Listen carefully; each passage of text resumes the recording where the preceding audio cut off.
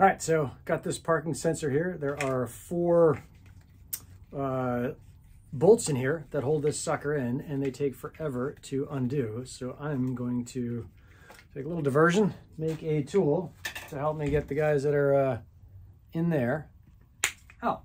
First, we're gonna find an old Allen key that is the right size.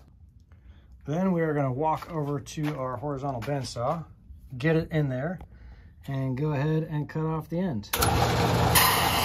All right, with that cut off, I know it's not a driver, and I've talked about using drivers for driving before, but uh, this is a special circumstance. We're gonna go ahead and put that in here. Well, it doesn't look quite right.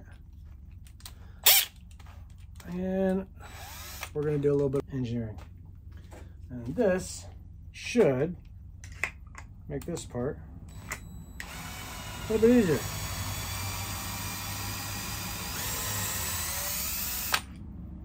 True fact.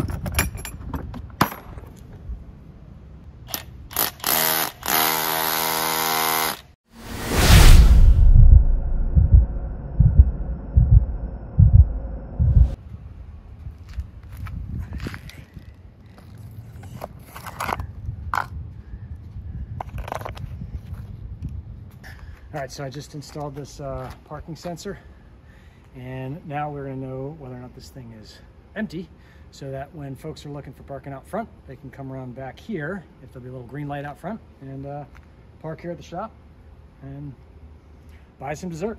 So that's what's going on.